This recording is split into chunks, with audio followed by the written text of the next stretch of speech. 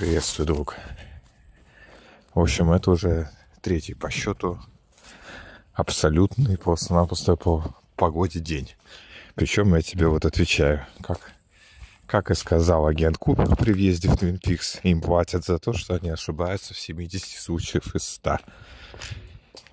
А, значит, стоял уже сегодня облачная погода с каким-то ветром, я вчера смотрел прогноз вот на сегодня. Пожалуйста. Ни ветерка, ни облачка. Это что-то просто. 27 градусов. Ну что, дадим небольшой кружок. Так, в целом сообщу, что и как. Ну, что и как. Главная новость, что я «Матрицу» смотрю, ребята. Так что я, конечно, пока до конца не досмотрел, но... А, в общем, положительные отзывы у меня.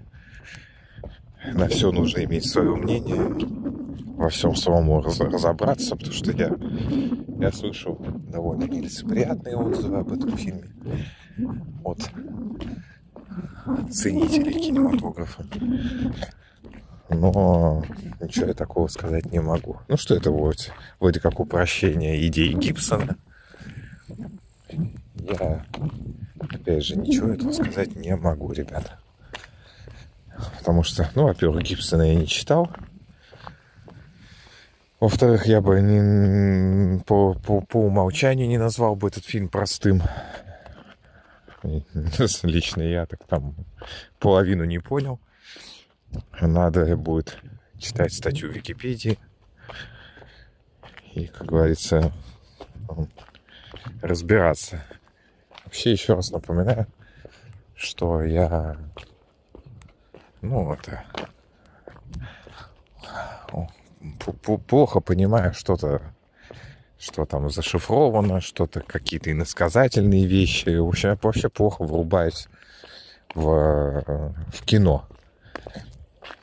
Даже в... То есть, ну, если только вот фильм какой-то сам линейный, элементарный, я тогда все сразу понимаю. Я вот помню, что фильм «Престиж» Кристофера Нолана. Я не знаю, как народ, конечно, смотрел. Вот опять же, понимаешь, я... Вот моя книга с, по большей части написана очень сложно и запутанно. Сам я мыслю очень сложно и запутанно. Я люблю, э, так сказать, все такое казуистику, выражаться иносказательно и все. Вот. А воспринимать это я совершенно не, не умею. Понимаешь, в чем дело? Вот. И, а.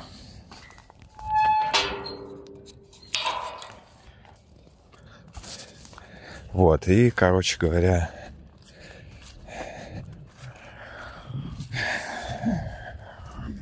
фильм «Престиж» Кристофера Нолана. Это, блин, топовый фильм, и в моей иерархии он топовый. Ну,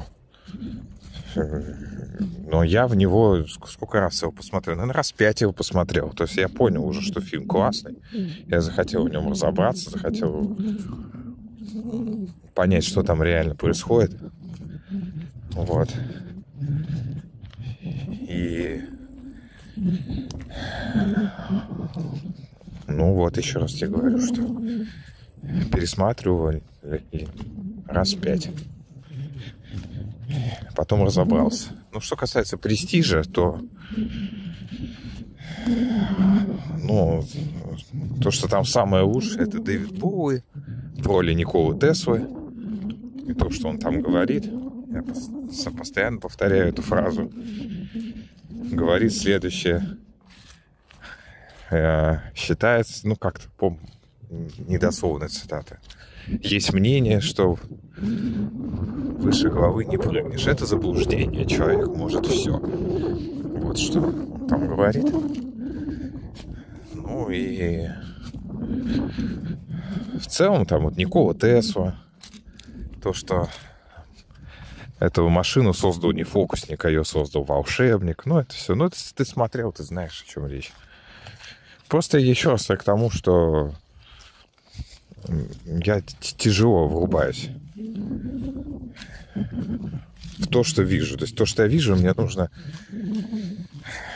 очень хорошо, все досконально понимать, и извилины у меня проворачиваются очень медленно. Но зато уж если я понял, то я понял. Ну, вот это все так уже знаешь. Ну вот, так что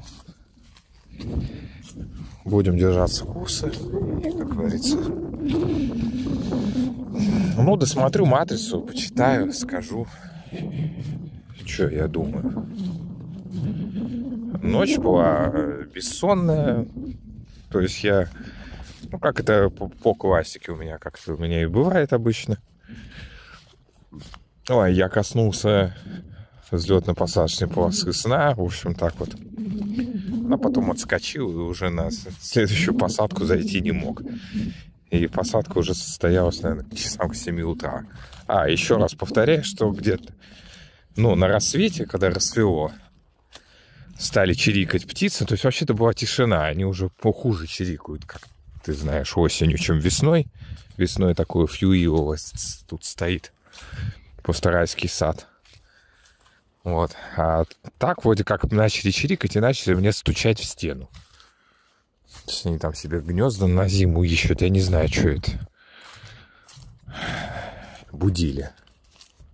Год назад это тоже происходило. Я вскакивал с кровати, начинал хлопать окном, чтобы их отогнать. Они, главное, что отлетают на соседнее дерево и сидят там и смотрят. И надо второй раз стукнуть окном, чтобы они поняли серьезность моих намерений. Но сегодня они так постучали не маленько и отвалили. И я уснул. Ну, так сейчас более или менее в состоянии все. Сейчас, кстати, еще раз говорю, что довольно-таки для меня рекордно, что я сейчас еще, по трех часов дня нету, я сейчас не могу посмотреть на часы. Я в одной футболочке. Сперва одел джинсовую куртку, хотел с собой взять и Монтейне тоже. Ну, ничего не взял. Куртку не взял, потому что жарко. Все равно пришлось ее явно нести в руках. Ну, сейчас посмотрим. Я не знаю, сейчас, может быть, либо через личную аллею пройду через машиностроителей вернусь. То есть часовую прогулку мы с вами сделаем, может быть.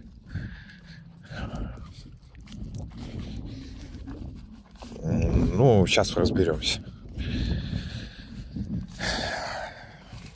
Ну, все то же самое. Быть или не быть, как быть. Я уже неоднократно говорю, что вообще у меня есть желание все средства связи отключить и до весны залечь с книгой. Как-то там в принципе, сейчас есть такая возможность, я тебе скажу, что закимарить, пока есть такая возможность. Вот.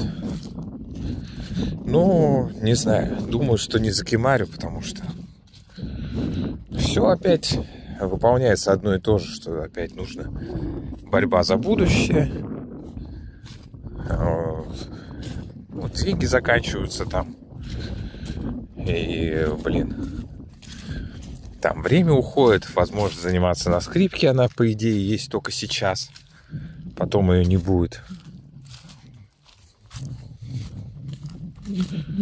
Но потом будет это все труднее. Все это, все это вместе. Да, вот ветерок дует, а не холодно.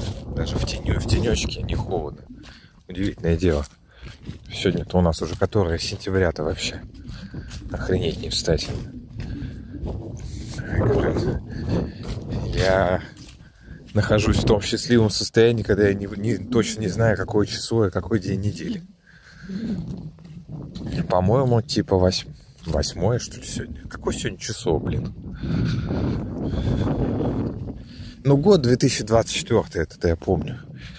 Еще раз говорю, что я помню, как э, в 90-е годы в своем великом детстве, знаешь, год устанавливался, я его запоминал просто раз навсегда, потому что мне не хватало соображалки на то, что год сменится. И он наступал, вот, допустим, помню, наступил 96-й, и это эпоха просто. Он наступил, я привык уже везде, там, через недельку где-то, везде писать, что 96-й год, там, во всех тетрадках. И вот эта 96 цифра, она устанавливалась просто хрен знает насколько. Сейчас это переключается просто. Что я говорю, это все очевидно. Так, вход в мою личную аллею. Давай мы с тобой перекрестке Тарантино отметимся. Ну, я думаю, стоит пройти сквозь личную аллею и вернуться ну, по, по моему маршруту через машиностроитель, не знаю. Сейчас посмотрим. Так, в принципе... Ну, так, в принципе, наверное, и надо сделать. Знаешь, вот когда такие чудесные деньки, то есть хочет, нужно, чувствуешь свои обязанности весь день провести на улице, а не получается, устаешь там и так далее. Охренеть, блин, денек.